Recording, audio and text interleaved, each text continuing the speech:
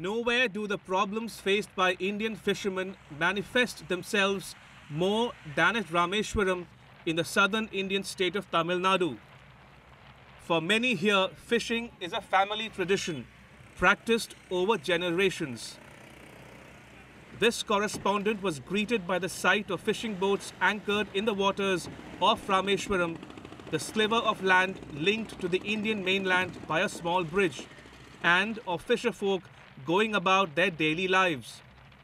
However, as the population grows, the demand for food grows too, and its consequences are being felt in these waters as fishermen from Sri Lanka and India compete for a bigger catch.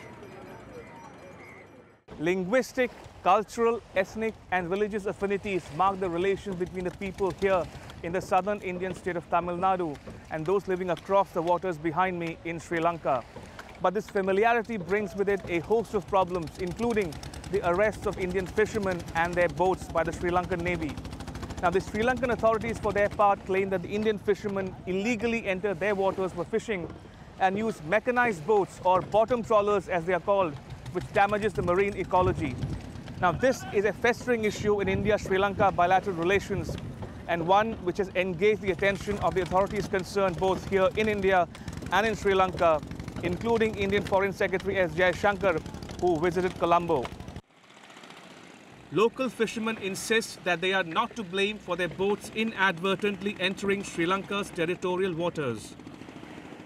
அங்கிட்டு நாங்கள் வேணுக்குன்னு போகலை water current தான் தண்ணி போகும் போகும்போது நாங்களும் இந்த மாதிரி நாட்டுப்படகெல்லாம் வந்து ஒன்றும் செய்ய முடியாது தண்ணி இங்கிட்ட இழுத்துட்டு போச்சுன்னா போயிடும் தண்ணி அங்கிட்டு இங்கிட்ட வந்துச்சுன்னா இந்தியாங்க வந்துடும் அதே மாதிரி ஸ்ரீலங்கனுடைய ஃபிஷர் வந்து ரொம்ப பேர் நம்மளை தாண்டி இங்கிட்டு இந்தியன் எல்லைக்குள்ளே வந்து இருபது இருபத்தஞ்சி நாட்டுகள் உள்ளே வந்து தான் மீன் பிடிக்கிறாங்க. நம்ம நேவியோ நம்மளோ நம்ம பக்கத்தில் மீன் பிடிக்கும் நம்மளோ ஒன்றும் சொல்கிறது இல்லையே. நம்ம நேவி வந்து அவங்கள பிடிச்சிட்டு வரலாம். ஆனால் நம்ம நேவி பண்ண மாட்டேங்காங்க. நம்ம நேவி ஓகே எல்லாம் உழைக்கிறான்னு சொல்லி விட்டுறாங்க. அவங்க மட்டும் ஏன் நம்மளை பிடிச்சிட்டு போய் சித்திரவதை பண்ணணும்? என்ன ரீசன்? இதுக்கு பின்னாடி பொலிட்டிக்ஸ் இருக்கா? இல்லை அவங்க அந்த தண்ணி அடிச்சுட்டு அவங்களுடைய நிலை இல்லாமல் செய்கிறாங்களா எங்களுக்கு தெரியல. A fortnight ago, local fishermen went on a week long strike in protest against seizure of their boats by the Sri Lankan Navy.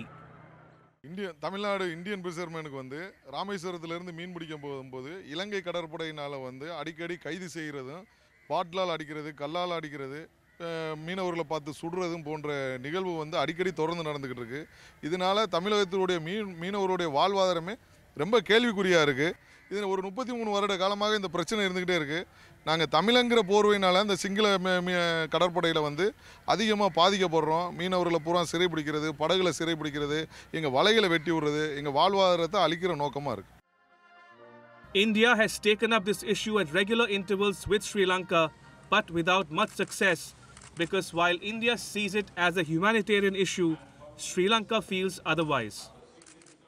Talk to any fisherman here, and every one of them has a similar story to tell one of apathy and indifference.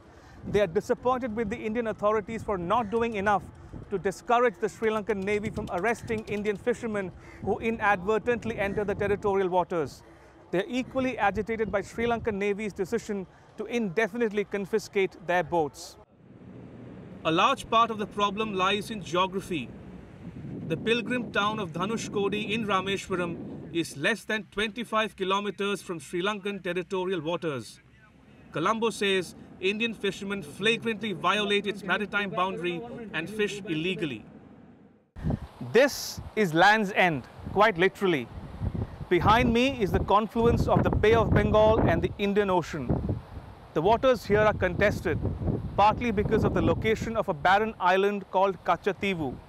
Although India ceded the island to Sri Lanka in the 70s, Sri Lankan authorities say some Indian fishermen continue to illegally enter its territorial waters, fishing in troubled waters. Again, quite literally. The Fishermen's Association has forwarded some proposals to Sri Lanka, such as allowing Indian fishermen to catch fish for 65 days a year in Sri Lankan waters or permitting Indian fishermen to fish on fixed number of days in a week. But they have not met with Sri Lanka's approval. Ramesh Ramachandran in Rameshwaram for WION.